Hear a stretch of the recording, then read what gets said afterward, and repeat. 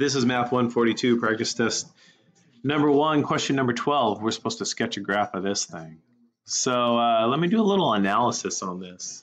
Um, so I know that this one half, this has to do with the period. Uh, this is how fast it's going to start to repeat itself.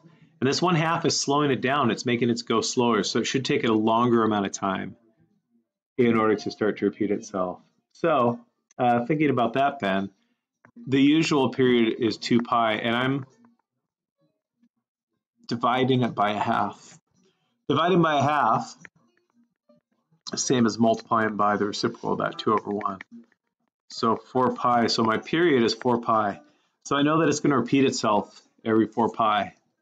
Um, notice it's just a 1 out here, nothing, so its amplitude is 1. So it's still going to like if this is zero, it's going to go up one and down one, and it is in its in its extremes. But this plus four shifts takes the whole thing and shifts it up four positions. So let's get a graph of this. So I'll, I'll deal with the period. Sorry about that. So it will start repeating itself after 4 pi half of 4 pi is 2 pi, half of 2 pi is pi. So pi, 2 pi, 3 pi, 4 pi. Great.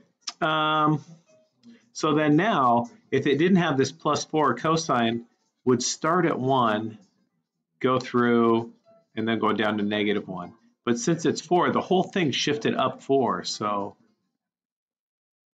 1, 2, 3, 4, 5. There's 5 up there. So this thing, instead of starting at one, starts at five, and it kind of has this midline here. This this would be the zero at four if it didn't if it didn't have the plus four to it.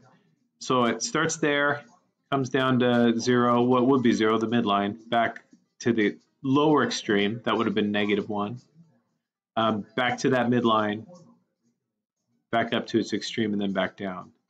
So then if I sketch it, it would look like that.